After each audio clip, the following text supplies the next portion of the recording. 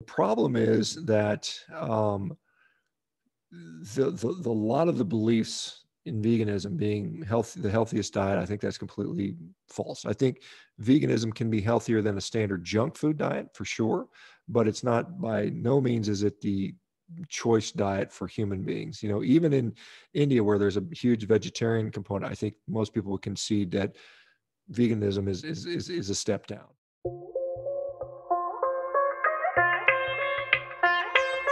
Welcome to another episode of the Totally Biased Indian podcast. This is the third episode in the diet series, and today we have with us Dr. Shawn Baker. For all those people who don't know, who are basically living under the rock and don't know about Dr. Shawn Baker, he is the original poster boy, the flag bearer, the advocate, the you know main proponent of the carnivore diet, the meat only diet uh, throughout the world. So you can call him he uh, you know the the og carnivore uh, guy in the world. So thank you so much uh, dr baker for joining in and uh, giving us this opportunity. And uh, what better time to have dr shawn baker on the podcast than this month? Because this is the world carnivore month going on. Uh, it couldn't have been you know better. Thank you so much dr baker for doing this well, Evan and, and, Tom, and thanks for having me. Yeah, it's, it's World Carnivore Month, and just incidentally, I, I, actually started World Carnivore Month four years ago, just because it's my birthday in January, and I was a little absolutely, I was a little sort of miffed to the fact that they had a Veganuary vegan month, and so I decided let's do the World Carnivore Month, and so we've been going in our fourth year, and now literally tens of thousands of people have done this, and we continue to grow each year, and we get to see uh, more and more people quite surprised how good they actually do with with the, uh, the meat-based diet. Yeah, we actually had a look at the uh, veganuary, and uh, we also knew that your birthday is coming up in a couple of days, I guess. So uh, we wanted to wish you advance happy birthday also. Uh, for people who don't know, uh, Shawn Baker, Dr. Baker, is going to turn 54, if I'm not wrong. Couple of days. Yeah, very good. 54. Yeah, exactly. Uh, and uh, he doesn't look even 20 eight right now. I mean, with the kind of shape he is in. So I wouldn't want to wish him happy birthday for the 54th age. I'll wish him like happy birthday just without the number. Uh, so Dr. Baker, uh, you know, if we would be giving you our introduction, it will only it will not be uh, it don't it won't serve the justice because we feel that you know you we've gone through your profile and uh, and we know what you know a lot of things about you and uh, what all you've done the world records that you have. Uh, it would only be just if you introduce yourself and uh, if you could tell something about yourself like you know right from the beginning like your basic introduction as to you know what who is shawn baker for people who don't know i mean for people who live under the rock. Yeah well i'll try to summarizes a lot of stuff. Uh, you know, I'm I'm a father of four children. You know, I, I have a background as an orthopedic surgeon. Spent uh, several decades practicing sort of traditional, you know, Western style medicine. Uh, I've been a lifelong athlete. I've had the uh, fortune to be able to set numerous world records and win world titles in, in various different sports over the years. Uh, I've you know been basically training athletically for now over 40 years and still managed to, to still hold myself together without falling apart. So I'm pretty pleased with that. Uh, I, you know, sort of started looking into nutrition about a decade ago for my own personal reasons as I got a little bit older. And that kind of led me on a sort of an interesting journey. And strangely enough, I ended up uh, deciding that uh, a meat based diet made the most sense for me. And, uh, that apparently inspired some other people to try it, and we started seeing some very interesting things happening. And uh, you know, this has been uh, uh building ever since. You know, I founded a company called MeatRx with my partner, who's a uh, entrepreneur, technical person, data engineer out of Silicon Valley, and so we are growing that business pretty rapidly, and and you know, using that to um, basically help people you know help people get better in, in ways that uh, that that a lot of the uh, sort of traditional medical route or traditional dietary routes have, have failed to do and we're making uh, things happen that, that weren't able to be happening before Uh, for people who don't know, uh, Dr. Shawn Baker has skipped a lot of things. He is not only, uh, I mean, he doesn't only have a lot of world records. He, uh, if I'm not wrong, nuclear missile operator. I mean, a former nuclear Launch missile officer. operator. Oh Launch yeah, I forgot. Yeah, I forgot about that. I used to I used to be in the U.S. But I was in the U.S. military on two different occasions. Once initially as a uh, yeah nuclear weapons launch officer, so I was in charge of up to 150 nuclear warheads at one time, and then uh, I came back in again as a as a trauma surgeon and was deployed, uh, it, it, you know, during the Afghan uh, war over in Afghanistan. So yeah, I did some of that as well. I forgot. uh, I think he must have also forgotten because uh, he's such a humble soul. he must have forgotten that uh, you know he's uh, played rugby and uh, he's also played against the Black Caps, if I'm not wrong. And uh, he's rowed. I mean, he. I think you still row.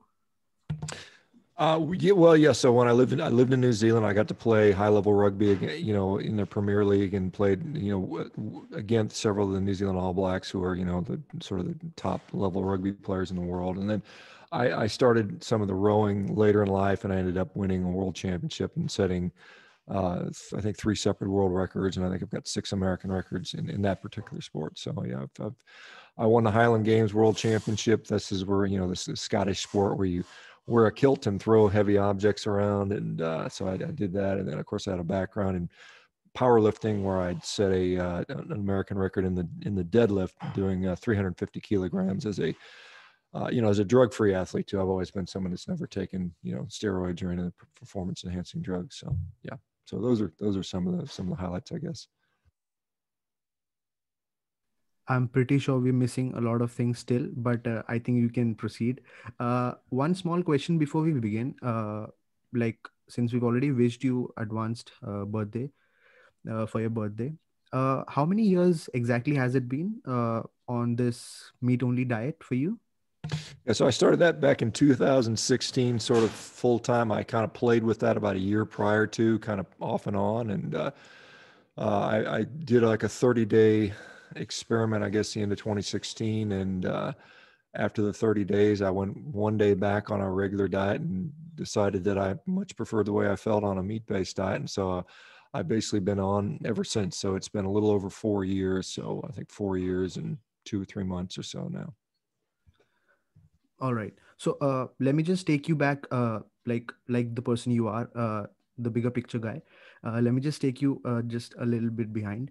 Uh, could you just tell us or could you just walk our audience through your journey as to you know when you wanted to start this uh, diet and uh, what really actually occurred to you and what exactly did prompt you to actually start this carnivore diet or only meat based diet? What exactly happened before that and what exactly like was your journey like the initial few days yeah. So, like I said, I've always been an athlete. I've always trained extremely hard, and I and I continue to do so. You know, even you know even now in my fifties, and uh, I think I was about forty-two years of age, and I noticed that my health was starting to decline despite you know all the heavy training I was doing. So I decided I had to, uh, you know, adjust diets. Uh, I, I, decided, you know, I, I was competing in these very strength-dominated sports, which required a lot of size. I was probably weighing at that time around 130 kilos. So I was a pretty, pretty big fella. You know, I'm, I'm six foot five. And so I think it's about 1.96 meters. I'm, I to put it in maybe numbers you guys are more familiar with. And um, I decided that, you know, I, I needed to, to kind of get a little leaner. And so what I did at that time is I did what I thought was the right thing. And I went on a low fat diet and I exercised multiple times a day. And I, and I did manage to lose weight the problem was I was just pretty miserable. I felt awful. I had no energy. I was tired. I was constantly hungry. I quickly realized that that was not something that would be sustainable for me. And so then I started to uh, change the, the, type of foods I was eating. Before I was eating a very veget, almost a vegetarian diet, very uh, vegetable based, fiber based, a little bit of lean meat. Um, you know, that was what you know I was trained to to believe was was was was appropriate. And to be fair, I did lose weight doing that, but again, like I said, it was not something that I felt particularly good at. You know, I, I, think I had digestive issues. I was my mood was not particularly nice. The nurses said we much prefer the fat Dr. Baker than the skinny Dr. Baker at the hospital because I was I was a lot uh, less happy. Um, so I started to incorporate more of a Paleolithic type of diet, uh, including a lot more animal products in there. Felt a little better. Started reading pretty extensively about diet, but some of the popular books, and then started to digging into the primary research. Uh, experimented with myself, kind of went on to a lower carb diet and on a ketogenic style diet for several years. And then as I started you know, hearing about these people that were eating just a, a meat only diet, I thought that was first, I thought it was very bizarre and kind of crazy, like everyone does. And then I, as I looked into it more, I said, you know, this is interesting. These people are really seeming to have good results.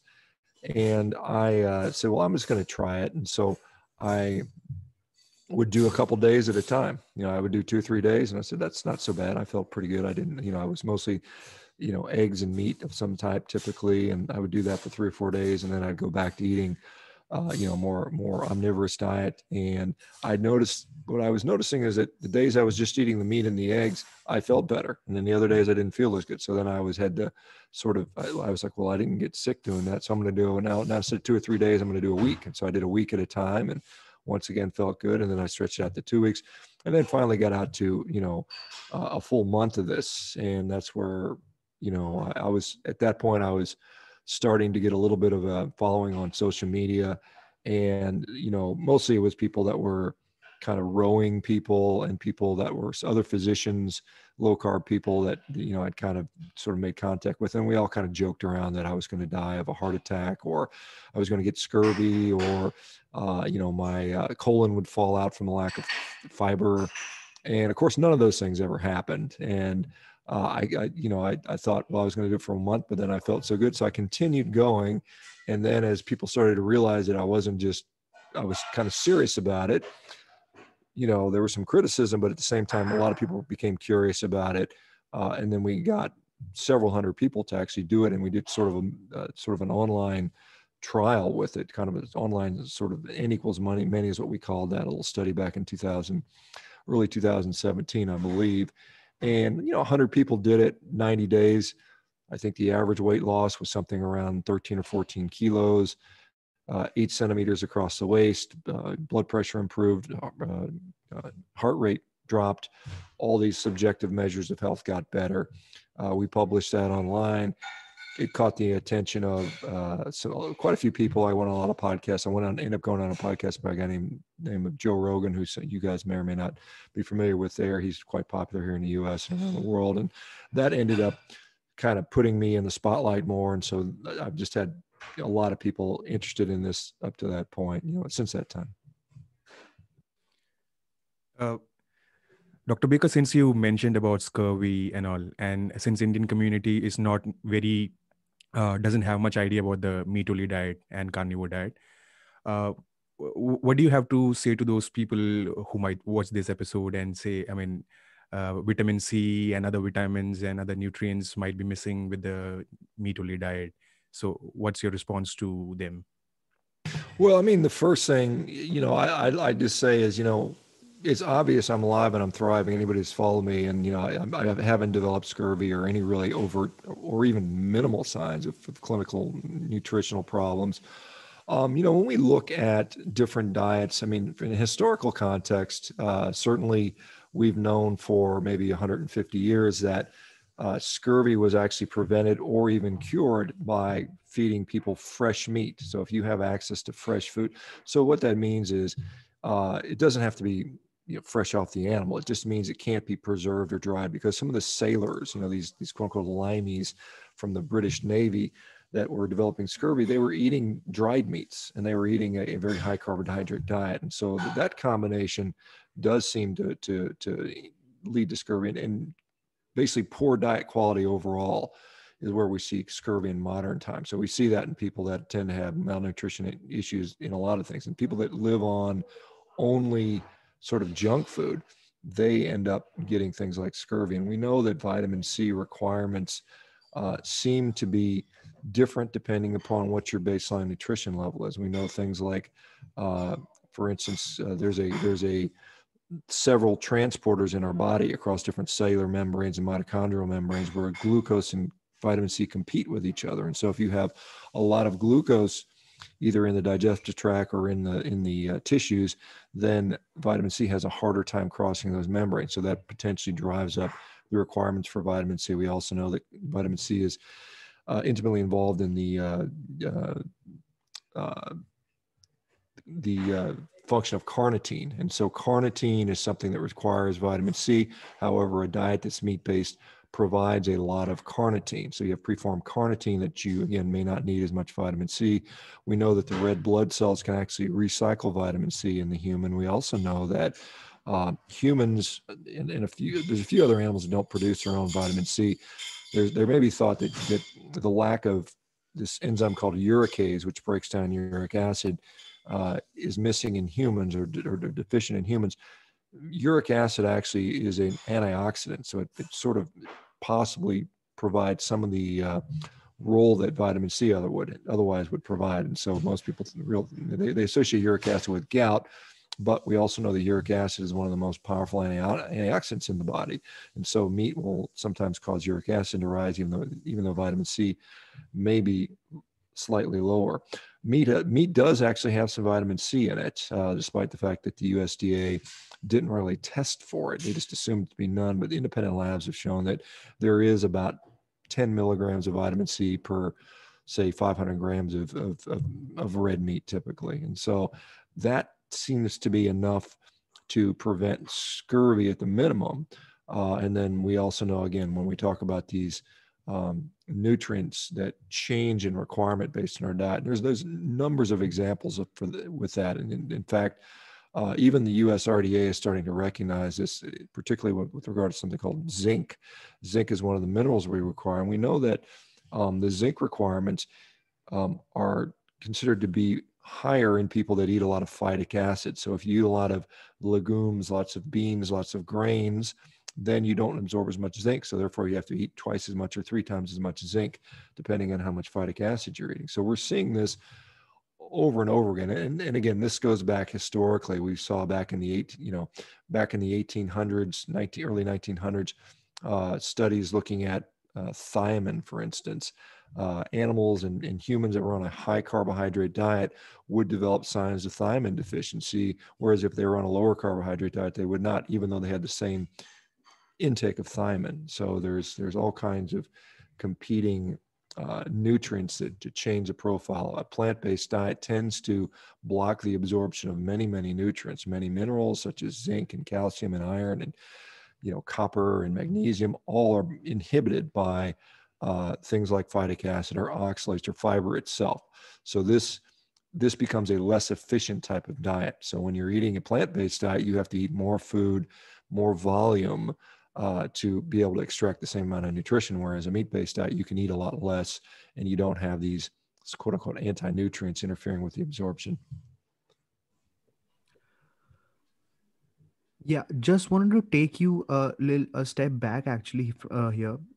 While you were actually, you know, starting off with this idea of meat only based diet, uh, you as a practicing surgeon, I mean, uh, uh, as a doctor, were you actually uh, you know suggesting this to your patients uh, at that time? And uh, i mean if if so i mean were, was there any you know backlash or ne- uh, negative repercussion uh, of that?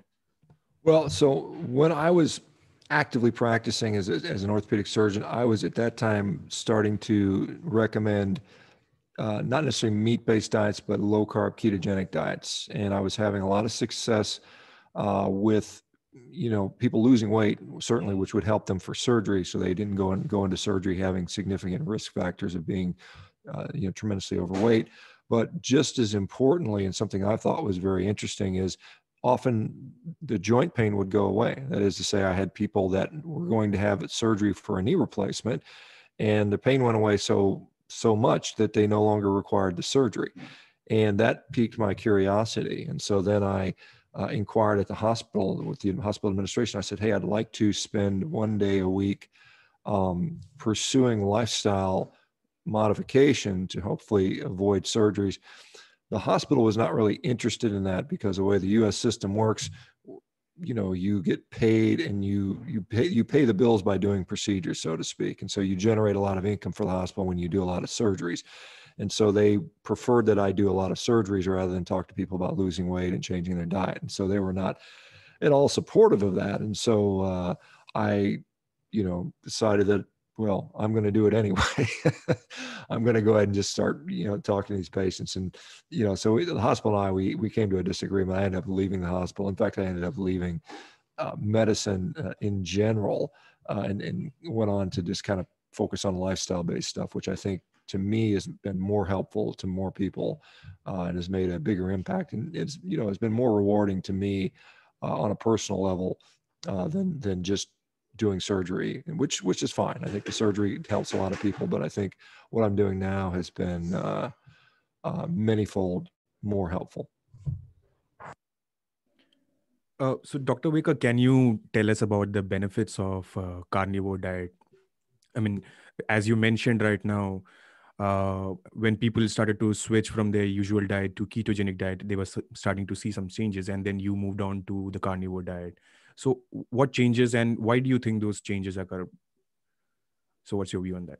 Sure. Well, I think, first of all, I think we need, I don't think it's controversial to say that nutrition impacts our health. I don't think that's a controversial statement. I think most people would realize that. The question is, what nutrition? And you know the sort of the conventional wisdom is well eat lots of fruits and vegetables and lots of grains and avoid fat and and you'll do fine. The problem with that is it's very unlikely that that diet would have been a human diet for most humans during most of the time on earth. Depending on how long you think humans have been around i mean you know if, if we look at an evolutionary model people will say that humans in the form of you know homo habilis through homo erectus through homo sapien have been around almost 3 million years. Some if you if you are more of a you know if the christian cre- creationist model we say it's maybe four or five thousand years and i don't know what the the prevailing thought is in, in the indian uh, you know religious different religious cultures but regardless humans have always eaten a lot of meat and the thought that Uh, you know particularly where i live you know in, in north america or if, where i'm from my ancestors are, are northern european. It would have been very difficult for me or my ancestors to have eaten a diet of 10 fruits and grains you know every day because it would have just been impossible. And, and we have to realize that there was it was the weather was a lot colder. We were going through ice ages through much of human development. And so from an evolutionary standpoint it makes sense that a meat-based diet would have been what's available and what what has helped us but what i see as far as benefit goes you know certainly a low carbohydrate diet has its you know its benefits i found that the meat-based diet did all of that plus just more. It would it would resolve things that that other issues wouldn't. And I think that what we see, you know, again, the modern diet, uh, and this is what we're seeing. You're seeing this uh, happening in India now, where you're having, you know, greater rates of di- diabetes, heart disease. You're starting to see more obesity, as your diet shifts to a more refined, processed diet and goes away from a traditional diet of where maybe the ghee is being pre- replaced with uh, some sort of vegetable oil, canola oil or soybean oil or palm oil. I'm not sure what the oil of choice is out there, but that's occurring. We're seeing greater and greater refining of the foods, the sugars, the the refined grains, and when when you have highly refined foods, it presents energy to the system much more rapidly than we would normally like so when i eat uh, you know a, a, a, piece of meat and whether it's you know here i eat beef but i mean if you're in india you could eat lamb or goat or chicken or anything, you know, eggs, that fat and protein is very slowly absorbed and slowly digested. And there's a sequential pattern in which our nutrients are designed to be absorbed. And we have these things called incretin hormones that some are in the very beginning part of the upper digestive tract and some are a little bit lower down. But what happens when you eat these ultra processed, super refined foods, it just goes through so quickly that things get sort of stimulated, you know, in an incorrect order or with incorrect uh, uh, incorrect timing. So we get a lot of problems with insulin and glucose, and we get a lot of gut problems where people have this dysbiotic gut where they have the wrong bacteria, and then you put other foods in there, and we're we're not able to tolerate that. So that's why so many people have gastrointestinal problems. It's one of the most common problems in the United States, something like 20% of the people now are diagnosed with irritable bowel syndrome. I, and I don't know what it's like where you are, but I suspect it's probably similar. Uh, maybe maybe we don't maybe they don't have a name for it because people don't put it there. But a lot of people are suffering from bloating and gas and cramping yeah. and, dis- and discomfort. We sort of you know, we'll eat a big meal and then our stomach will hurt and we think that's normal. We're just used to it. So, yeah, that's normal.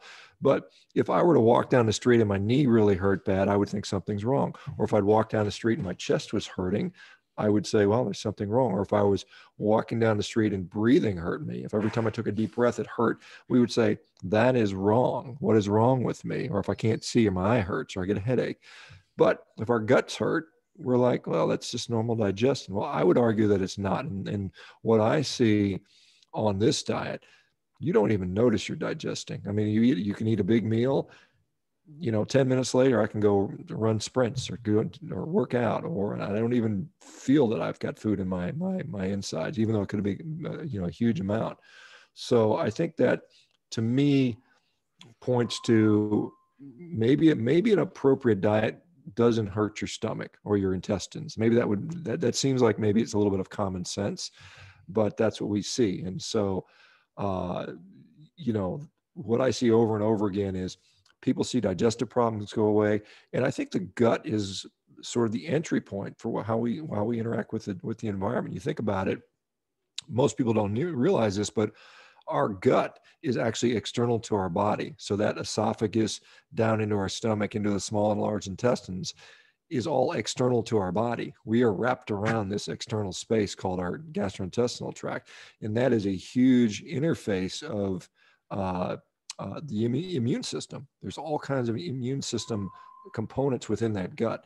And our skin is designed to keep everything out, right? We have this skin that's got a barrier that protects us and keeps it out. But our gut is designed to absorb things, absorb nutrients.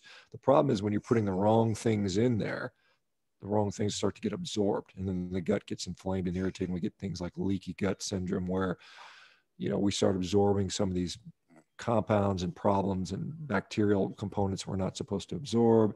That leads to problems down the road. It could lead to arthritic problems, joint problems, autoimmune issues, allergies, asthma, mental health issues, so on and so forth. And so, by fixing the gut through diet, by removing all the bad stuff, and then providing a highly bioavailable, highly uh, you know valuable nutritious component you know things just get better and they get better pretty reliably and pretty quickly for most people. Yeah um, i've heard that uh, the brain basically takes a lot of information from the gut and the gut microbiome is very important.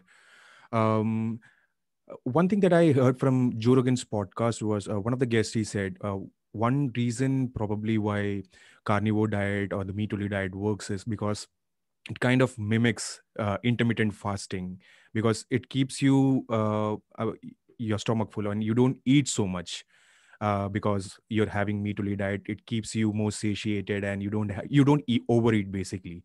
Overeating doesn't happen. And with carbs overeating happens more. So do you think that's the case I think that's one of many reasons why it can help people. Yeah, the diet tends to be very satiating. You know, we know that protein is fairly satiating. Fat can be fairly satiating too, depending on how it's prepared. Again, I think I contrast natural fats, natural animal fats to sort of concentrated industrial fats. You know, some people dairy fat, you know, like when it comes in the form of ice cream or, you know, really you can overeat that very easily. It's hard to overeat just straight meat. It's, it's, it's, it's not that it's impossible, but it is, it's difficult. Most people have a hard time really eating a lot of that. Um, the, the, the thought that it mimics fasting, um, what, what it can do, and I, I would say that we aren't designed to eat every two hours, even though many people do. I don't think that's how if we if we assume that humans at one time were hunters and hunter gatherers and we were relatively nomadic walking around following herds of animals that we were eating it probably would not have been very very uh, um, convenient to stop to have to eat every two hours. I mean i can't imagine you know if you're walking in a little group of your, your little tribe and every two hours you're saying hey wait let's go eat something you wouldn't be very popular because you know you think you you know if you were cooking you'd have to start a fire so probably they probably they ate once or twice a day would be my guess. Uh, I don't know that for sure, but that that would make sense. And I think that's kind of how we're designed. And we see that, uh, um, you know, one of the things that occurs when you're eating very frequently, and you do make out the point out with carbohydrates, it is easier to eat carbohydrates to excess, particularly when they're highly processed. There's some good studies out there that show that people, when they're faced with highly processed or ultra processed foods, they just eat more. They just eat more calories, and calories do matter. You know, however, this diet impacts that. I think one is yes, you probably are more satiated. You might eat a little less. You might eat a less, a little less frequently. The other thing is protein does seem to have an advantage metabolically. We know that a higher protein diet, much of that protein, about 25% of the protein that you consume, is utilized, uh, is, burned itself just to digest it. So 25% of the protein you eat doesn't turn into calories. You know, it's kind of like free calories, more or less. You can kind of think of it that way. Uh, that doesn't happen to that extent with fat and carbohydrates. That's a, that's more like five percent, maybe ten percent. So you get a big advantage by eating a meat-based diet. Most people, uh, in, in and I don't know the situation in India, but I, I suspect it's similar, or if not worse. In the United States, protein is only about 12 to 15 percent of the of the U.S. diet. To me, that's not enough protein. Now there are people out there that are saying pro, too much protein is bad, and so on and so forth, hurts your kidneys. Again, that information is completely based on studies that have long been disproven. You know, there's this this notion about protein harming our kidneys was based on some rat studies done by a guy named Dr. Brenner back in the 1980s. That was his hypothesis. Rats are not human beings. We've seen over and over again that humans on higher protein diets do not see compromise their kidney function, doesn't harm their doesn't harm their liver, doesn't make them age more rapidly. In fact, what we see is particularly older people that don't get enough protein, they become frail, they become sarcopenic, they break their they break their hips, they become less functional, and their life quality of life goes down rapidly. So it's Im- incredibly important to eat adequate protein uh, to preserve lean muscle mass, to preserve, preserve function, particularly as you get older. You know, like I said, I'm you know midway through my 50s right now, and I'm trying to hang on to every last muscle that I can. And I think that's very important to do that. And I think that's something that, uh, uh, you know, you appreciate it when you lose it.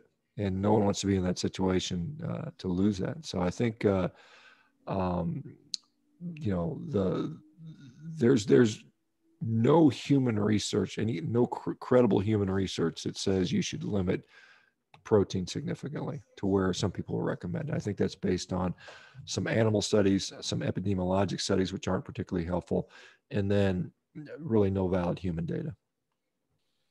Uh, Dr. Baker, uh, since I mean you you spoke about our ancestors and you know, so it's uh, it's easy to understand from that because when we were hunter gatherers, uh, we cannot uh, it, we were in groups and we used to go and hunt. So it was not possible for us to eat every two hours and every three hours. So we predominantly uh, based our diet on you know meat because it would give us energy for the longer period and then and so that is why uh, probably we evolved to have more eat uh, eat more meat basically meat based diet. But uh, in, in the modern society uh, because we have carbs and carb based uh, diets and all processed uh, processed food. It's much more uh, we are more addicted to have it because uh, back then in our uh, back then our an- ancestors didn't have access to so much for food. So our, our physiology basically evolved to crave for more carbohydrates. And that's one of the reasons why we have rise in obesity and all of that yeah, it's it's it's sort of interesting, and many people don't realize this that somewhere between 100,000 and maybe 25,000 years ago, there was a dramatic reduction in the size of the human brain. We lost about 200 cc's of brain. And we went from, you know, if we, if we, again, if we pursue this evolutionary model, we went from a, you know, an early human, uh, you know, Australopithecus with about a 300 cc brain all the way up to the largest human brains that have ever been recorded were the Neanderthals at 700 c 1700 cc's, and the Neanderthals were mostly carnivorous. It's pretty clear from from from radioisotopic data that they ate almost an exclusively meat-based diet. Some of the early humans around them also were heavily involved in eating a lot of meat, and once we sort of um, lost some access to those big animals, these big mega herbivores, the mastodons, the mammoths, the elephants. We would eat those pretty regularly. Once those died off to the to the level where they weren't available to us, we had to start hunting smaller, leaner animals. We didn't have as much fat. Um, we didn't have as much you know readily ready access to foods we had to rely more on plants processing plants eventually around 10 12,000 years ago we learned to cultivate and process grain And because of the grain processing, we were able to grow dramatically from a civilization standpoint. We were able to support these massive populations. The problem is the populations, the individuals in those populations were smaller, were weaker. They had problems. They, their brain shrunk 200 cc's, their muscle mass went down, they didn't grow as tall you know they had nutritional problems and then we started having the feasts and the famines and so the fam- when the crops fails you had famines and so that was you know again what allowed the, the growth of civilization and there's a lot of a lot of wonderful things that occurred due to civilization it led to decreases in overall individual health and we can you know you can see that in population height is a good proxy and we there's something called stunting where when you see these populations where the children don't have access to you know a full complement of nutrition they become shorter they, they, they don't develop as well. You know, they, they, they don't develop as well mentally, physically. Uh, their height tends to be smaller. Uh, and so if we look at like some of the historical populations, like, you know, places like the Mayans uh, or some of these, you know, other populations where the average height of a man was, you know, not just under five feet tall. And you, we compare that to like the Gravettians who lived about 30,000 years ago in Central Europe, and they're, they were specialized mammoth hunters. These guys' average height was six foot two. That's taller than the tallest living population in the world today. The tallest people today, the height is around six foot one, and that's places like the Netherlands or Croatia, where you have males that are, you know, six foot one's the average, but you have males that are six foot eight, six foot nine, six foot ten, pretty regularly. Uh, so we have Gravettians living 30,000 years ago that were even taller and stronger and physically more robust because they had constant supply and access over generations to these super, you know, high quality, nutrient rich diets.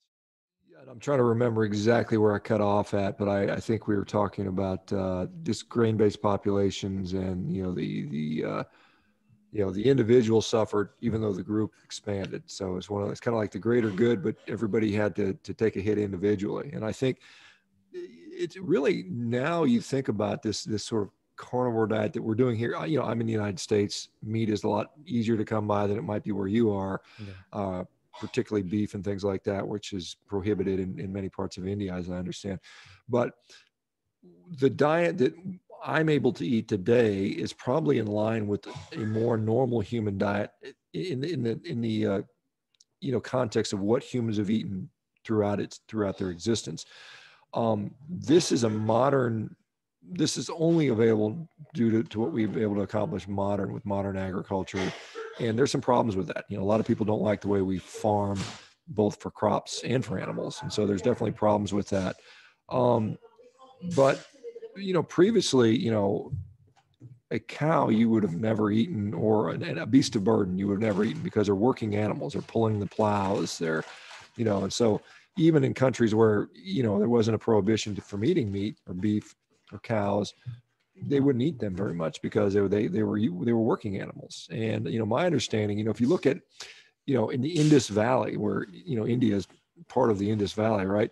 there was a recent study coming out showing looking at some of the pottery from three or four thousand years ago and it was full of animal fat you know they know that they were eating you know prior to the adoption of, vegetarianism as part of the religion there india you know that part of the world was very much animal based and so there was been a, obviously it's been a change based on uh, uh, you know different religions but uh, uh but now you know we've we've been sort of only the wealthy could have eaten, you know, a lot of meat.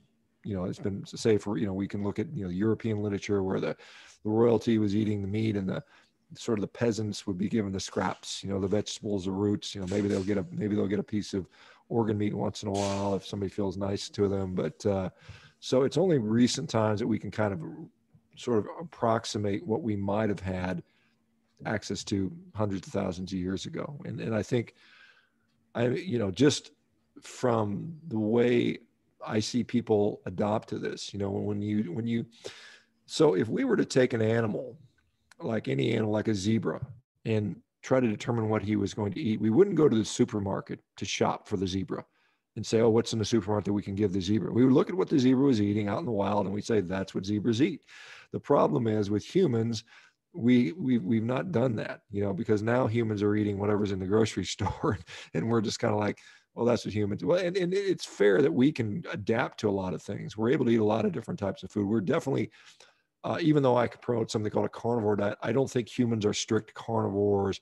I think we are opportunistic omnivores. I think we are probably something called a facultative carnivore, which means we do really good on meat. That's our preferred fuel, but we have the capacity to do these other things. If you look at a comparative anatomy um, and you look at you know the, the, hardware we have that is you know how much stomach do we have how much small intestine how much large intestine do we have and we look at it in terms of fermentation capacity because how a chimpanzee or a gorilla gets its energy is from a high fiber diet which they then convert that fiber through their gut microbiome into short chain fatty acids. And so they're actually eating relatively high, they're actually absorbing a relatively high fat diet, even though they're eating a high fiber, low fat, low fat diet. We lost most of that fermentative capacity. Uh, you know, a chimpanzee or gorilla may have up to 60% of its uh, digestive system dedicated to fermentation. Humans only have around 15 to 18% of our gut is, is dedicated to fermentation. That is very similar to uh, both a cat and a dog. A cat and a dog are right in the same meal. So we should probably eat a diet similar to a cat or a dog. Cats, most people would consider are obligate carnivores. Dogs, and they descended from wolves. For people that don't know that, dogs came from wolves, and wolves generally eat a pretty carnivorous diet. And so that, and, and the reason, sort of, I think we sort of you know, a lot of people call dogs man's best friend. We sort of co-evolved with them after a period of time. We domesticated the dog because the, the dog had a very similar eating pattern to what we had, and perhaps we gave them our scraps and and they helped us hunt, and and that's kind of how that theory goes. But uh, um, it's pretty clear that we are.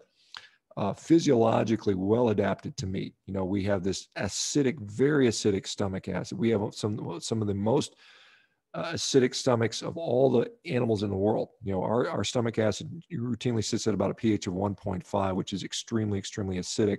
Uh, other animals that have that are things like vultures, hyenas, these animals that are scavengers. And the reason for that, one, it's very metabolically expensive to have such a such a very strongly acidic stomach environment.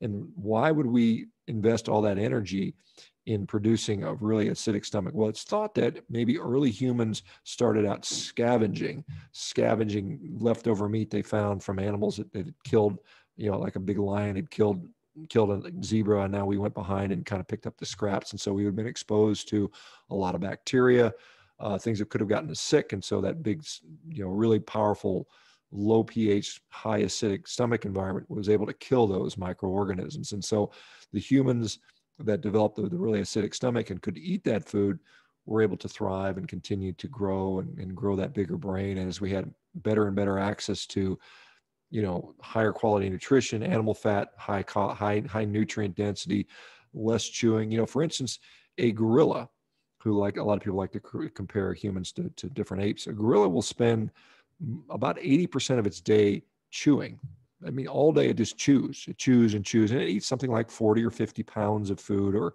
25 kilos of food a day, you know, something like that.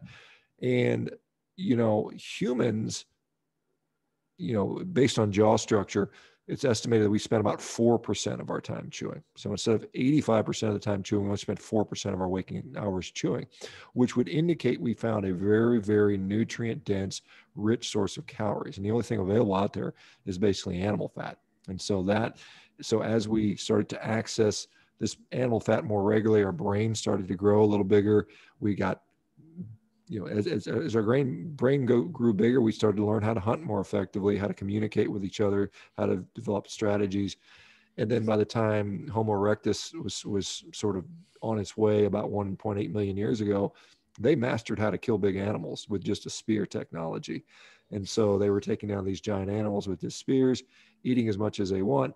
They had constant supply of food. Brain got bigger and bigger and bigger until eventually we got to, you know, Homo sapien, Neanderthal, and here we are today. And as many many people don't know, we are kind of a mixture of both Homo sapien and Neanderthal, and probably some other uh, these variants, Homo uh, uh, Denisovians, and, and some of the other uh, sort of mixtures that are out there. So we're all kind of hybrids. There's a very interesting study since you mentioned about uh, the diet and the, uh, our teeth structure and everything.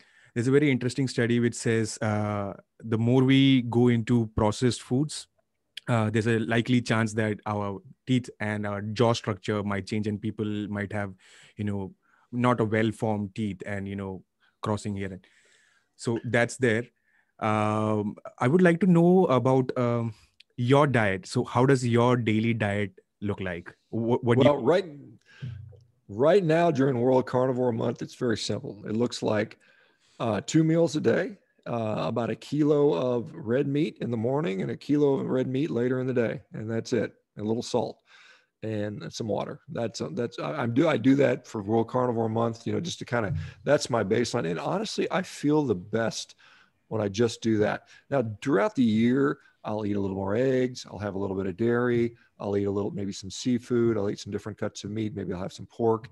Um, you know, that's you know, I'll put spices on the food. I, I'm not opposed to any of that stuff. You know, in fact, when my child has a birthday, I've had a birthday piece of cake, you know, and, and it's got everything, who knows what's in that. And I don't, I just do that to, not that I really want it, but I do do that to kind of make the kid happy.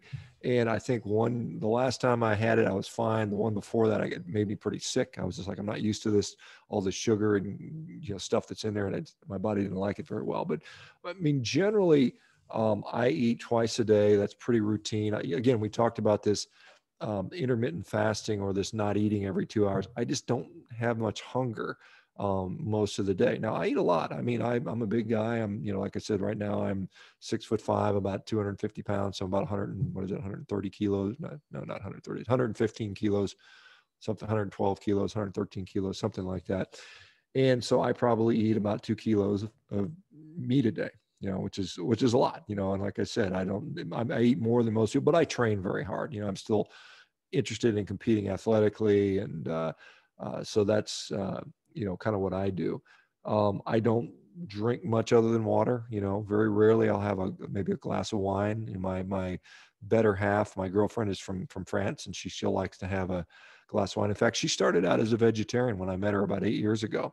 And since that time, she was having stomach problems and she's slowly transitioning. Now she is about 95% carnivore and feeling the best she's ever felt in her life. Her stomach's fine. And it's, it's kind of funny. She's just uh, got great energy and uh, it's, it's, it's really made a big difference in her life as well. That's actually uh, one thing that I wanted to ask actually. Uh, I mean, uh, do your family also actually uh, like have a completely meat based diet or like a carnivore diet especially the kids i mean are they yeah so my like i said my my my girlfriend is about 95% and some days she's 100% you know she'll she'll sometimes have a little bit of fruit or sometimes a little bit of vegetable but that's about it you know she'll have some you know some dairy some yogurt. Um, my kids probably every meal they will have it will be meat based they will have you know some kind of meat some kind of egg some kind of dairy um, every meal. That's and, and they will have typically if they're still hungry they'll have some fruit. Uh, they might have a little bit of dairy with that. Rarely do they ask for or want vegetables. We don't force it on them. Uh, if they want some they can have it but they almost never want it. Um, once in a while they'll have you know uh, you know a treat or something like that. But mostly it's you know I, I just and they like it. I don't have to push hard.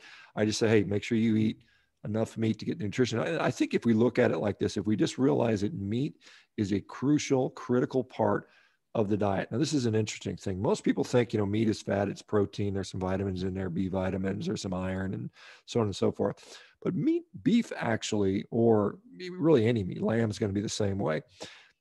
According to, to something called nutriomics, which is a study of the individual nutrients in all these foods, um, has something like 50,000 individual compounds, you know, most of which we have no idea what they do. I mean, it's just, it's just so unique. You know, there's 50,000 that have been identified so far. There's probably even more than that. And the problem with that is, you know, we, there's a, there's a nice study that a guy named Stephan Van Vliet, Van Vliet rather out of Duke University did. Uh, and I interviewed him a couple weeks ago, but they, they compared standard meat, beef in this case, to the plant-based burgers. You know, the fake fake meat burgers that are being. I'm sure they're they're making their way to India, but Beyond Meat, Impossible Burger, so on and so forth. And they compared them, and only 10% of the nutrients found in, in actual beef were in these plant-based analogs so 90% was missing and even though same amount of protein same amount of uh, you know carbohydrates and fat you know and it may even taste similar. It's nowhere close. It's not even in the same eh, planet. I mean it's just in a different different solar system completely. So to pretend that you can get what you can get from animal products um, is just is just crazy. And these people that are saying we're going to get the world to, to, to leave animal products because we can make it taste just as good, it may taste the same, and you may they very well may be able to make it taste very similar, and you know. But the problem is you're going to be missing out with all these nutrients, and you know, particularly with children, for instance, we're seeing things like choline becoming more and more important. I mean, we know about B12 and we know about zinc and we know about some of these other compounds that have been around, but we're discovering more compounds every year or two. They're like, wait a minute, if we don't have that, we don't develop as well. And so, you know, as a parent, and this is what I, I, I I'm very, I don't care what an adult eats. You can eat whatever you want. It's up to you. You, if you're a big boy, you make that decision. But when you start telling, you know, when you start making the kids and you start them out behind, you know, the curve, and then you you force an ideology on them, and they end up, maybe they could have been three inches taller. Maybe they could have had five more IQ points that you've kind of, you know, kind of limited them. And I think that's that's unfair to the children. So, you know, we see that in countries that are suffering from malnourished, the most effective way to improve the status of, of, of, a poor person is to provide some sort of animal product, whether it's eggs, whether it's milk, whether it's chicken, whether it's you know some some other animal meat. That is going to have the biggest impact of anything you can do nutritionally for these folks. Yeah, I think uh, I think this will be the right time to actually bring in this question. Uh, uh, what does uh, like Shawn Baker have to say about veganism? Like, what do you have to say about veganism or the concept of veganism? Yeah, so that's very good that you you make the point that it's a concept because it it you know and, and a lot of vegans are they'll they'll very they're very defensive about this. They say it's not a diet, it is a lifestyle choice, it's a decision. I almost consider it to be almost a religious sort of thing. Um, the problem is that um, the, the the lot of the beliefs in veganism being healthy, the healthiest diet, I think that's completely false. I think veganism can be healthier than a standard junk food diet for sure, but it's not by no means is it the choice diet for human beings. You know, even in India where there's a huge vegetarian component, I think most people would concede that veganism is is is, is a step down. You know, as far as nutrition is concerned. Um, I think the the the belief that you know you're going to save an animal's life I think that's fine. I think that's that, that, I don't think there's any wrong with that. I think it'd be noble, but I but I, but you have to understand that in food production, particularly modern food production, many many animals are killed. I mean you know just to harvest crops. I mean there are thousands and thousands of little animals that get either poisoned. And it's not you know they, they say it's unintentional but i say you, you, there's a word called pesticide and pesticides are sprayed on crops. The very word pesticide means you're planning on killing pests. This is an intentional act. So we're killing bugs we're killing insects we're killing mice we're killing rabbits we're killing foxes we're killing deer we're killing uh, you know, wild pigs. We're killing all of these animals that would otherwise inhabit that area. And to grow these crops, you have to decimate everything. There can't be a weed there. You have to kill everything except for the one crop that you want to grow. And when you do that, you destroy the, ha- the habitat for all these wild animals. And so these animals all end up being either dead or their quality of life or injured or harmed in some way regardless. So the belief that veganism is going to spare animals' lives is is, is kind of it's, it's truly misguided. Um, the, and so I can make the argument that if I wanted to eat in a way to where I would create the, the least animal suffering, then I would eat a carnivore diet and I would focus on an animal that is raised in a what we call regenerative fashion or holistic fashion, where the cow eats grass or the, the lamb eats grass and you know it, it, there's no pesticides or herbicides and then when the animal animal is old enough it's slaughtered you eat it and you only have to eat you know a, a, few animals. You know if i'm eating a big animal i only need one or two of them if i'm eating smaller animals i might have to eat you know 10 of them you know to feed myself 10 lambs to, to you know 10 sheep to feed myself for a year maybe. That's far better than the thousands and thousands of animals that go into typical crop production. So I think the ethical arguments are misguided. I think most people don't realize that people, and I know there's been some unrest among the farmers and ranchers in India uh, recently. I've seen a lot of protests, you know, about something. I'm not sure all the details on that, but though I think those people will tell you that they do not do that because they, they hate animals. They they're not going in this because they, most of them really like the animals. They try to take care of them. They know that those animals, the, the, the well-being of those animals is what helps to keep them healthy, you know, because they've got to have, if they have sick animals, it doesn't do them any good. You know, it, it, it, it, decreases their ability to make a living. So they, there's a, there's a motivation to keep their animals healthy and happy and well. And uh, that, that's certainly the case where I'm at. I know I've, I talk to ranchers all the time and they're, they're, you know, they're definitely sort of horrified when they hear this, you know, some rancher was beating its animals and, and not doing the right thing. And that's not, that's not the norm. The problem is the vegans take these abnormal examples and they pretend this is how it is everywhere and all people do this and all farmers and ranchers are evil people and their only goal is to torture and mistreat animals when nothing nothing could be further from the truth uh, now, ultimately, these animals die for our food. There's no doubt about that. You know, whether it's a chicken or a, a fish or you know a, a, scallop or something. And you know, what really sort of is interesting to me is you know even if you, when the vegans say I'm not even going to eat a scallop, you know, a mollusk, uh, it, it, it, makes really little sense to me because it's like they're not particularly, you know, they they could care less. I don't think they have any concept of I don't think they have any concept of what it means to be alive. Maybe they do. Um, and then the other thing is the environmental aspect of it. And I think this is, you know, and I, I certainly can speak better to what I know about the US. I know um, when we look at greenhouse gases, for instance, in the United States, our animal agriculture is responsible for about 4% of the, the greenhouse gases in the United States the transportation sector is about 28%. The energy sector is about 29%. The, ener- the energy sector is another, I think the, the, industry sector is about 30%. So cows only produce about 2% of the animal agriculture or the, the methane or the, or not the methane, the greenhouse gases in the United States. So it's really a smaller issue than we're told to believe. And the other thing is, you know, if we want to look at a solution, a long term solution to solve climate change, if, if, if, that's what you're concerned about, animals eh, can certainly be part of that solution. And one of the things we see, and I will, I will, will kind of point to India a little bit because you have a lot of cows in India. You know, I mean, I don't know if you know that, but you've got like 200 million cows in India. You've got one of the biggest herds in the world, more than we have in the United States.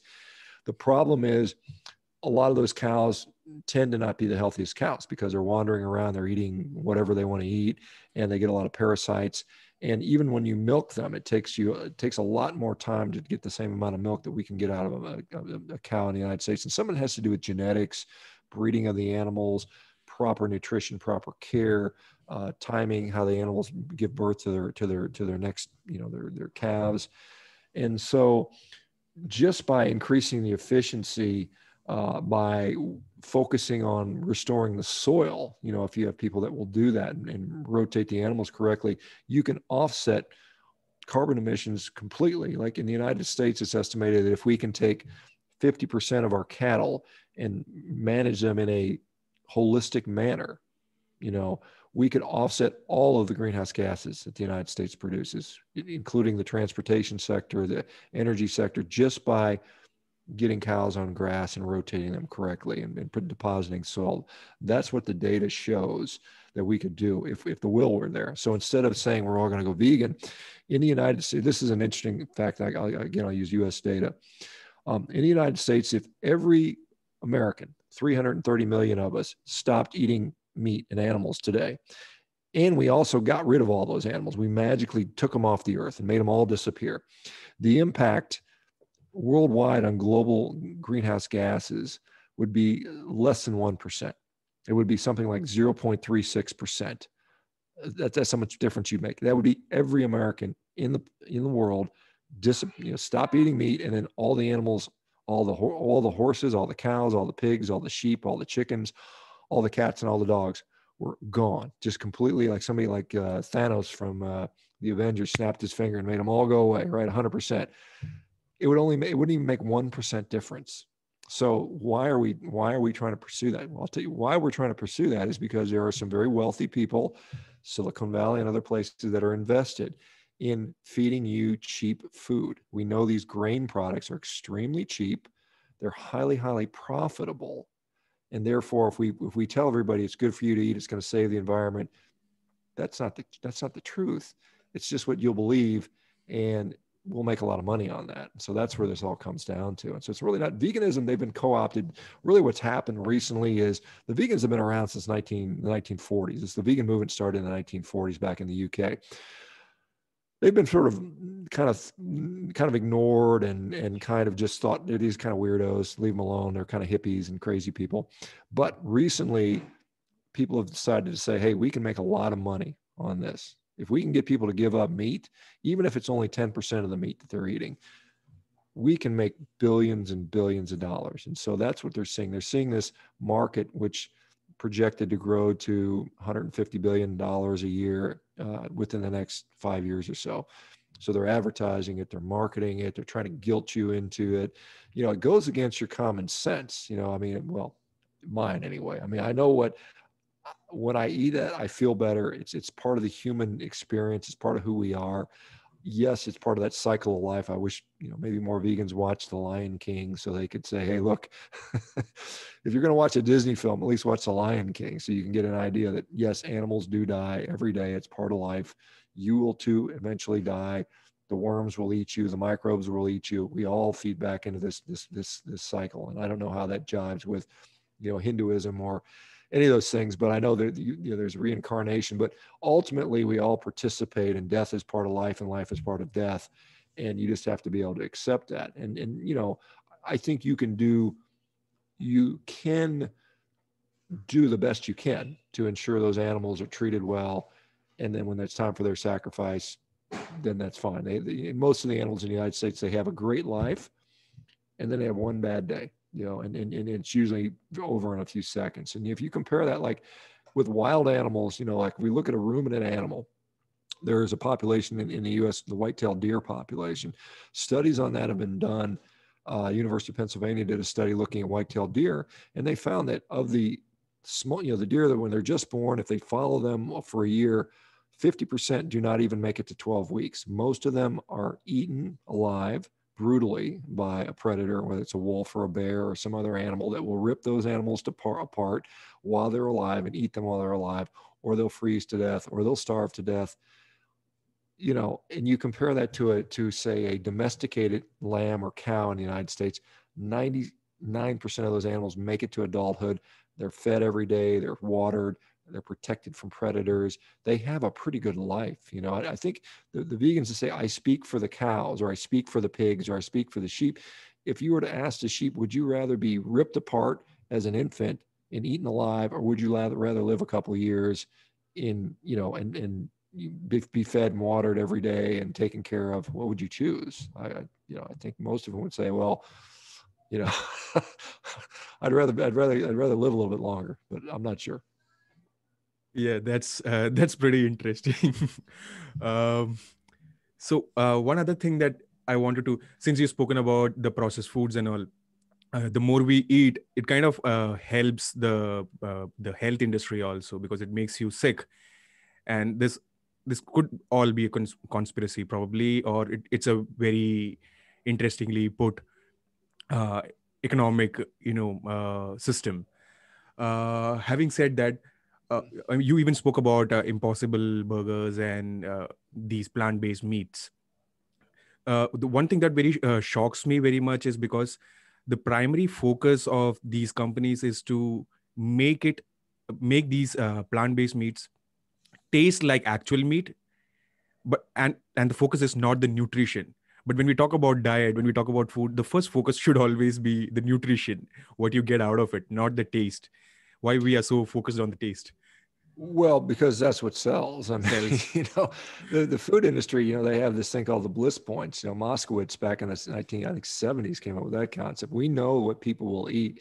If it tastes good, it doesn't have to be nutritious. It's, we just want to keep, it's, it's, we want it to be, a, have a drug-like effect where we have to keep eating it over and over again. Nutrition is, is incidental. It's a secondary concern. Human health has nothing to do with why food companies produce food that they produce. It is all about profit. It is all about repeat sales. It is all about shelf life stability. You know, if you, if you sell food that's, you know, that, that's got to be refrigerated like meat and, and can only sit on the shelves for a couple of weeks, it's hard to make a, long, a, big profit on that. You know, it's it's it's one of those things where they want to make food that you know is going to last. It can sit on the shelf for three years if it needs to. It's very very tasty. Uh, you know, I mean, yeah, the processed food tastes wonderful. It's great. The problem is, you know, you eat it and you're like, well, I'm still hungry. So I'm going to eat some more until you get enough. You finally eat so much that your, your stomach hurts but you don't get the nutrition you need. And that is part of the problem. So it drives, again, I talk about these ultra processed food studies, it drives you to eat more and more until you reach a level of nutrient sufficiency. And it may take you three times as much food. Um, you know, there's, there's something called the protein leverage hypothesis where people talk about if I will eat until I get enough protein, and if you're eating a carbohydrate based food, you know, if you're eating a bunch of, you know, rice or, or let's say potato chips or something like, you're going to eat those over and over and over again because you're not getting much protein with that. So you're going to overeat calories. Uh, and then you're going to overeat a lot of the chemicals that go with that, you know, in many cases in the processed food. And that's clearly harmful. And I think what we see again is the gut is damaged by this long term. And so we have this dysbiotic gut, this dysfunctional gut and then we don't even tolerate the foods we're designed to eat which may be meat they may be some of the, the whole foods even fruits and vegetables that we you know can eat but now we have problems with those and so now our guts hurt no matter what we eat yeah I actually want to. Uh, I mean, there was an interesting question. Uh, I mean, there was an interesting uh, point that you actually, uh, you know, were saying, because uh, you know, when we talk about uh, the early human beings, we used to be hunters and gatherers and uh, it didn't make any sense. I mean of course common sense would uh, tell us that you know we couldn't be eating every 2 hours. So, but now the uh, society here i mean especially here in india uh, think that it's more healthy to actually eat every 2 hours that's a general notion that uh, kind of you can say a trend that has come here in india that you know every two hours every two and a half hours if you keep eating that's more healthy for you. And uh, you know that's something uh, i don't know if that's uh, the trend is uh, there in usa right now but it's certainly here in india. Like if you eat every two hours it's good. If you have five to six meals in a day that's good. You know it keeps filling you and it keeps you know it's a balanced way to keep your body running that's i mean what do you have to say about that well, I mean, certainly, and that concept is is definitely there. There are many nutritionists and dietitians that are supportive of that, even among diabetics, which I think is just just kind of cr- almost criminal to, to do that. But um, so when you are running on a carbohydrate based metabolism, what you do see is you see that our glucose is very unstable. So it'll go up after we eat a carbohydrate based meal, and then it'll plummet and it'll go below baseline because the insulin is secreted, and then we have this constantly up and down with hunger. So what they think is instead of having that hunger, you're going to eat constantly, so your blood glucose is always kind of a little bit high, and that has you know effects down the road. You end up eating more food overall. You gain weight long term that way, or many people do. Um, so I think that is you know based on so we're making these corrections based on the fact that we're eating the wrong diet. So we're trying to we're trying to put together a diet that humans aren't suited to eat and, and, and it, it becomes difficult. We have to make all these contortions and you know supplements and balancing and all these things to do um, because we're eating the wrong diet. You know, it's like it's like trying to watch a you know if you had a a lion and you were feeding him you know broccoli and cabbage and, and you're trying to make well how much broccoli and cabbage does this lion eat well this lion must be need be eating every two hours because he's clearly not doing well keep feeding him the, the wrong food right because he's he's just not he's hungry all the time and and well just, just shove something in there. I think that's what we're kind of seeing you know because people don't feel good. If they're on a carbohydrate diet and they don't eat every few hours they really they don't they get sleepy they fall asleep they become you know they get they, their brain can't think uh, they're they're starving they're mad their their moods are up and down. So uh, that i think is what's going on. And so if you if you drop you know, like I said, the, the carbohydrates out of the diet rely on fat and protein and meat. It's it's it's kind of smooth. Everything's kind of leveled out. Your energy levels are stable. Your your hunger level is is minimal. Um, you know, I can go I can go 24 hours without eating, no problem at all. I mean, and in fact, I usually go pretty much every day I go somewhere between 14 and 18 hours between my last meal and my first meal of the day. I, it's it's 7:15 in the evening here. I had my lunch.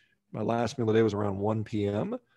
I'll eat again tomorrow at eight. So that's something like what is that? Five. is Some that's like 19 hours of no food, and I'm totally fine. And you know, I'm I'm having this conversation with you guys. I'm not hungry. I'm not falling asleep. I'm not you know I'm not angry. You know that that's that's the difference between you know how we're supposed to be and how we're trying to adapt to this diet that we're maladapted to. Uh, and I think that's you know that, that's just an attempt to do this. You know, it's uh, um, you know, and, and and I think that's you're trying to do the best you can. But I mean, if you just fix the diet from the beginning, you won't need to do that. Uh, Dr. Baker, now can we talk about MeatRx and are there any Indians in the MeatRx community? And yes, there are. We have we have some. We have a we have a fellow. His name is BNS, and I, I don't remember part. He's from India. And he's got like I think he's got now hundred thousand YouTube followers here in India, which is I guess quite is pretty good. He just started that, and uh, you know, obviously, there's a lot of people in India. You got 1.3 billion there, so there's a big country. Uh, but yes, we do have some. We do have a number of folks from India uh, in the in the in the community. You know, I think that despite the fact that India is known as a vegetarian country, I think there is a huge opportunity for a carnivore type diet to help a lot of people there and you can do it you know in that concept. You can use lamb and goat and you can use chicken and you can use, eggs and dairy and you can kind of you know build a pretty good diet that way seafood depending if you're on the coast and so on and so forth. So uh, yes there are there are members of the indian community at MeatRx we are an international community. We have people from all over the world uh, almost well i can't say every country but certainly countries that i know at least speak some level of english you know because we have uh, you know, quite a few from South America, you know, and then obviously India has a, a pretty robust English speaking population. Uh, but yeah, we are we are excited. We've got coaches from around the world. I, I, I wonder if BNS, I can't remember if he's doing coaching for us or not, but we have uh, people from all over the world that are doing coaching. We have we just rolled out our instant coaching, so you can call any time of the day and just get a coach right then instantly. If you've got questions to help you kind of you know adapt to the diet or if you have a particular concern or you need some support because some people just something happens they need support.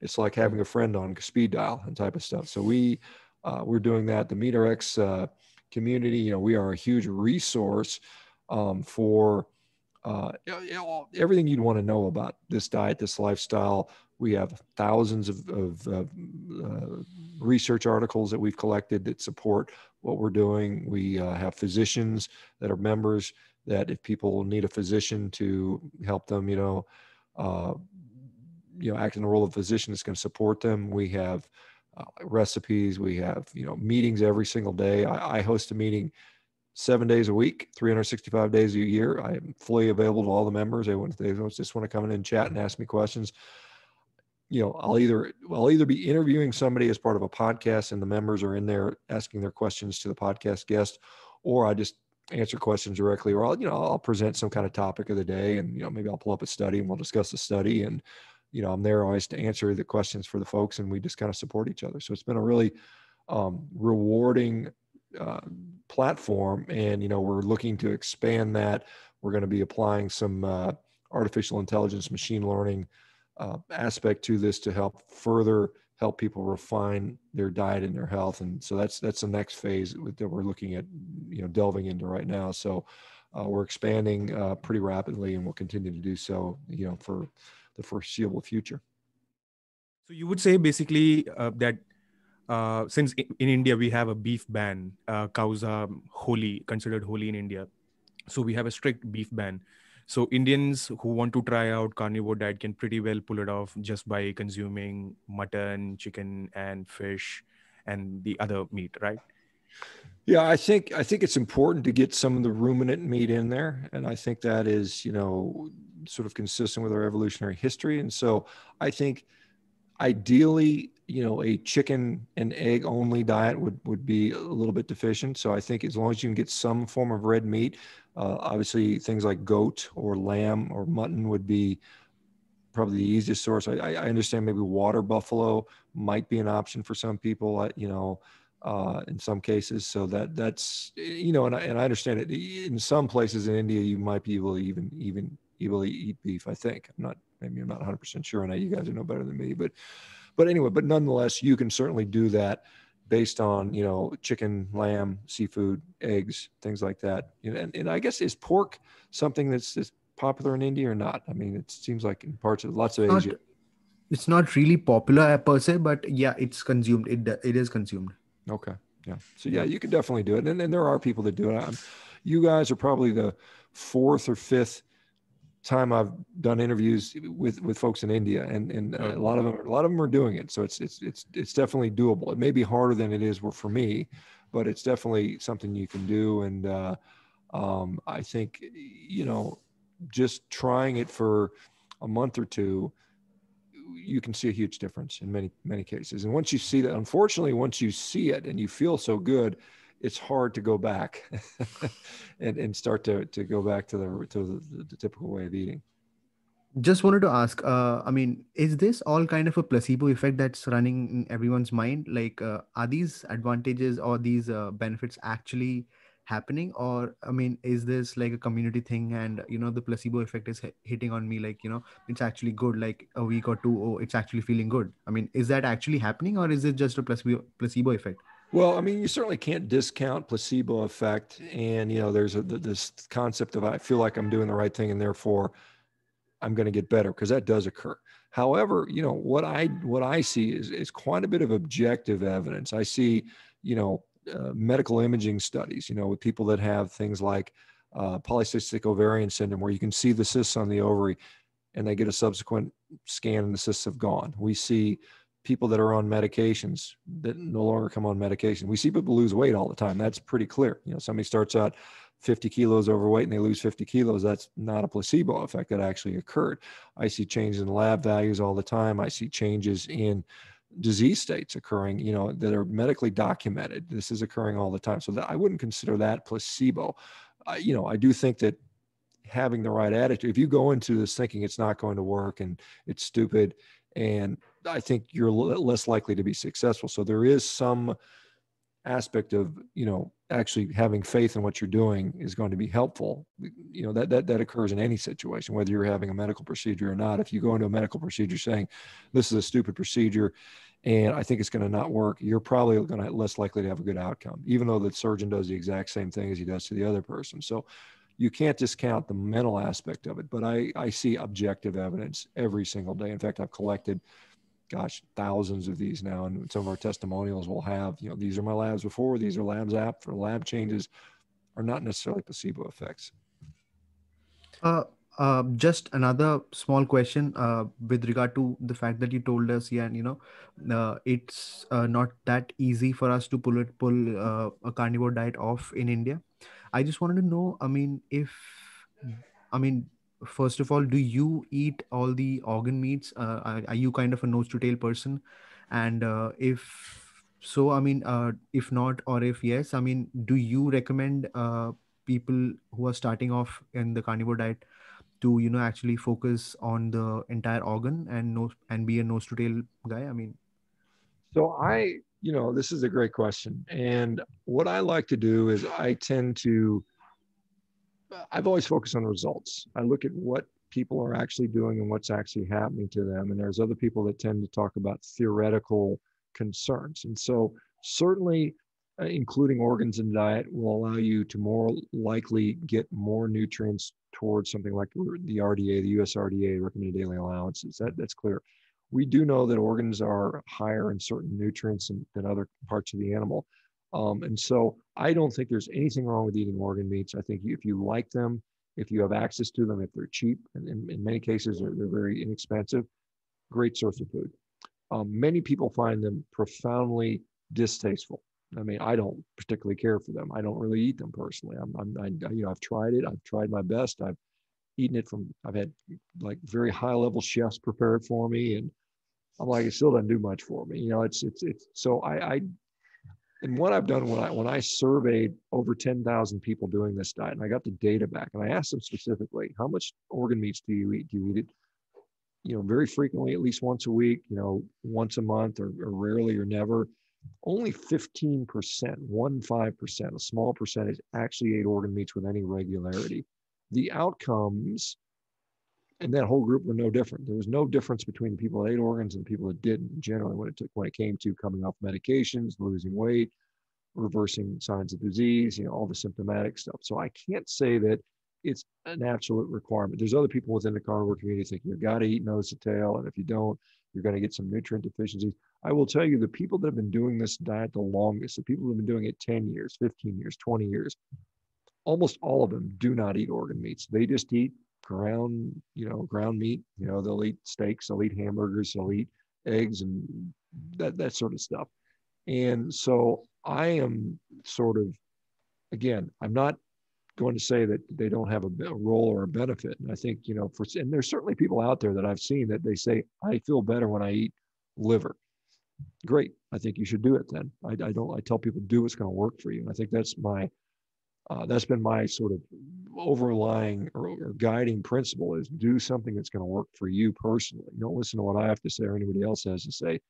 Be dogmatic about finding your own level of health. And so I think the other thing I was going to say with, you know, even if you could not pull off a full carnivore diet in India, getting rid of refined grains, you know, the junk food, the, the convenience food, the processed food, the sugars, and, and likely the oils, you know, these cooking oils. Go back to ghee, go back to, you know, animal fat, you know, or, you know, butter or, you know, whatever you, whatever your grandparents cooked with, because India is not going in a good direction, as you guys know. I mean, you're seeing more and more obesity, you're seeing more and more heart disease, you're seeing more and more diabetes, you're, you're seeing infertility and mental health issues. You know, those things are problematic and they're not going to get better. And nutrition has a huge part of that. So at the very least, roll back what you ate 50 years to 50 years before, and then you're likely to be you're still likely to be better off, you know, regardless of whether you go animal based or not. Uh, wanted to just add one more question uh, onto what you just said. Uh, like you said, uh, the people who've been eating 15 years, 20 years for uh, on this, uh, who've been on this carnivore diet, uh, there are people who actually say that you know effects don't actually uh, are not clear if because you know we can't really tell uh, how a carnivore diet is going to affect a person because uh, no one has you know had it for like 50 years because you know have you have your carnivore diet and come back after 50 years when you are almost going to have cancer or something like that i mean what do you have to tell about uh, to those people well, I think that's more of a that's almost a religious argument. That that that to me is is kind of almost a non nonsensical argument. You know, it's to say that I can tell you what diet's going to make you live to be 100 years of age is no one knows that. No one really, and, our nutritional science does not know that. There are no long term randomized controlled trial studies on any diet without any kind of serious, with any kind of clinical outcome. So to say that you're going to get cancer or you're going to die of heart disease in 50 years because of your dietary choices, there is no data out there that would support that one way or the other. I don't know if a carnivore diet is going to make me live longer or shorter. Quite honestly, I don't really care. I mean, I, obviously I'd like to live longer, but more importantly, I want to know what my health is like today. This because I, I, you know, tomorrow I may get hit by lightning or a bus may run me over, and if I have a poor quality of life, you know, my whole life eh, because I think I'm going to avoid a heart attack at 70 what is a point? I mean what is what is the purpose of that? So i think i think what we can i think honestly if we're honest about this i don't think we can realistically say what someone's going to die of based on their diet. Now you could say someone who's obese and smoking and is in bad shape you're likely going to die early. I mean that's pretty fair to say. I mean if you're in poor health today very likely if you don't change something your health is going to get worse over time what I think you can do with diet is you can say, look, I am overweight, I am diabetic, I am depressed. If I change my diet and all of those things get better, that's as good as you can get. And I think that's what we should focus on. If we just focus on that, you know, from a society, from a healthcare, you know, uh, the healthcare industry, we'll have served the people much better than saying, "Oh, we're going to pretend we're going to make you live to 120 and you're not going to have heart disease." Because no one no one knows that and all these people these sort of longevity gurus that tell you to, to, to take my magic powders they don't give you a money back guarantee when you die at 72 instead of 77 because they have no way of knowing that. There's no, there are no people walking around at 120 years of age that are super healthy, that have a lot of muscle. And well, there's nobody walking around at 120. There's none, zero people. So for people that are telling you, I know how to make you live longer based on, you know, eating the magic berries and, you know, it, it's just all garbage. So I would say focus on today and tomorrow, get as healthy as you can, and just continue doing those things you know, and, and, and then that's the best you can do. And uh, so, I mean, let me just get this straight. So, if someone is to come and ask Dr. Shawn Baker, you know, what is the best diet as per you, what would he just say? Well, I mean, I would say that, you know, ultimately the best diet for you is going to be the one that makes you feel perform uh, and, and, and be your best. I mean, and, and, and that starts tomorrow. Um, I would say that, uh, in my opinion, that diet probably includes animal products. I mean, I think that's fair to say, and I think that's pretty clear that uh, animal products are, you know, I think, you know, an animal-based diet that does not include junk food is a extremely, extremely healthy diet. I think when you have junk food in any diet, you know, whatever else you put in there is not going to do as well as it should have.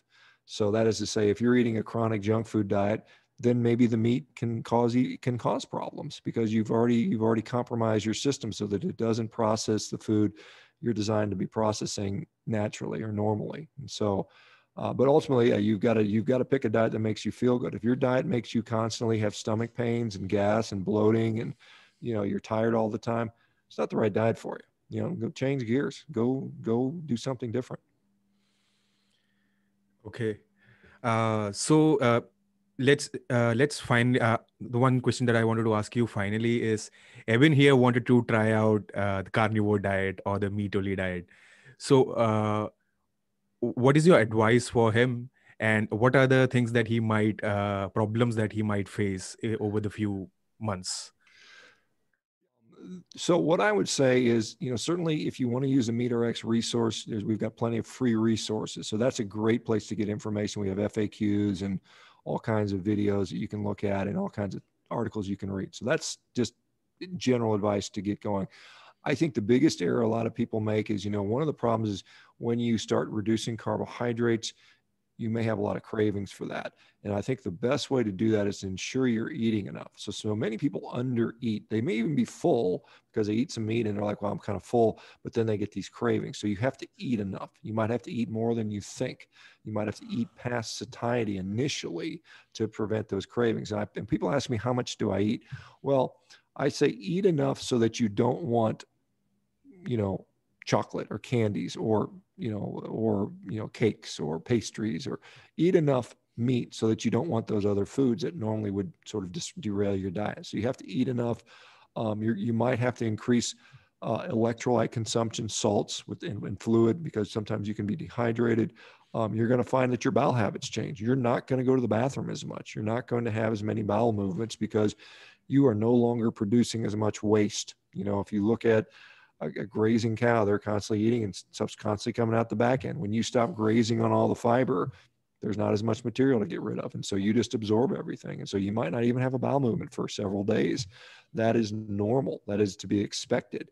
Um, I think that, uh, um, you know, eating and electrolytes are probably the biggest things. Um, getting support uh, it can be helpful because you know a lot you'll have questions and you, you may not have anybody to turn to and that's again this is why these online platforms are so so helpful. Um, again, I don't know what's locally available in India. I don't know if there's much. I know, like I said, I know I, am aware of 10 guys in India on the carnivore diet, but 10 guys out of 1 billion is, you know, it's pretty unlikely you're going to run into each other. Um, so, I mean, again, that's why one of the reasons we offer our platform, uh, that's important. Um, enjoy what you eat. Don't make it so that it is a, you know, a, a sense of boredom. If you need to use spices, you need to use a little dairy in there. Do that to make it more palatable so that you can enjoy it. You don't want to sit down there and, and dread your meal. You want to look forward to it. So you want to make it as much fun and as decadent as possible. Use different combinations of flavors and different types of meats and you know eggs and cheeses and you know those types of things, yogurts and you know the, you know if you're going to do mutton or you're going to do you know fish, just and, and if you- you've got one india is a culture of wonderful spices. I mean you guys just have just tremendous you know aromas and flavors and so you can use some of those just to make make it palatable you know and uh, at some point some people might have to you know remove some of those if, if they're if they're causing gastrointestinal problems but in general you know if you're going to make it if you're going to make a curry or something like that you know you can use a curry you can use chicken and you can use some dairy and make it you know you just you might have to learn you you know become a good cook you know you have to learn how to prepare your own food. Don't buy the prepackaged pre-processed food from the store. It's got garbage in it. So you want to you want to just try to make you get get handy around the kitchen. You know you that's a skill you should have anyway. You know you should know how to cook. If, you're an if you're an adult human you should know how to feed yourself right? You shouldn't rely on some store store bought garbage to to to, to provide your nutrition